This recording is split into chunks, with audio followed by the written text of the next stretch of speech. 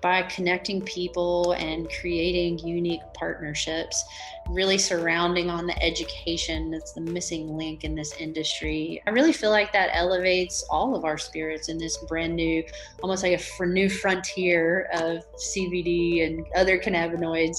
I feel like the connection benefits all of us for sure.